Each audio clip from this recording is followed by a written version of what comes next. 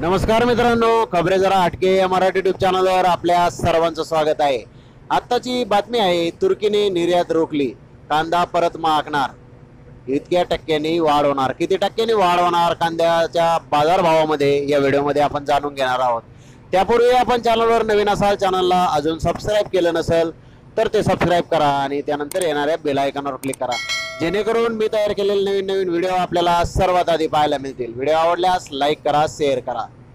कांद्याच्या किमतीमध्ये पुन्हा एकदा सुमारे पंधरा टक्के वाढ होण्याची शक्यता आहे. याचे कारण तुर्कीने कांदा निर्यात बंद करण्याचा निर्णय घेतला आहे. त्यामुळे कांद्याच्या किमतीत ही वाढ होऊ शकते अशी शक्यता जाणकार व्यक्त करीत आहेत.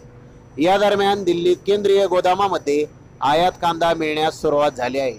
मंगळवारी दिल्लीत केंद्रीय गोदामातून लोकांनी हा कांदा विकत घेणे सुरू केले आहे. तसेच मदर डेअरीच्या सफल स्टोअरमध्ये कांदा विक्री सुरू झाली आहे.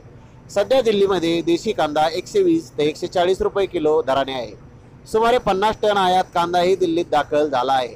देशामध्ये एकूण सातशे नव्वद टन कांदा आयात दाखल झाला आहे.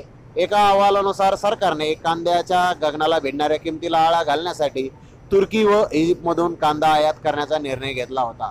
विद्यमान वर्षामध्ये सात हजार सत्तर टन इतका कांदा आयात केला गेला असून यामध्ये पन्नास टक्के कांदा तुर्कीमधील आहे. कांद्याच्या या निर्यातीमुळे तुर्कीमध्ये मात्र कांद्याच्या किमती वाढल्यामुळे आता तुर्कीने कांदा निर्यात बंदी करण्याचा निर्णय घेतला आहे.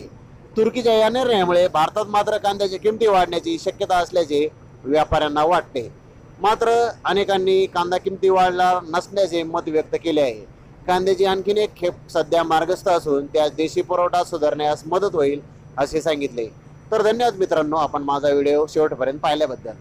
व्हिडिओ आवडल्यास लाईक जरूर करा आणि शेअर करा.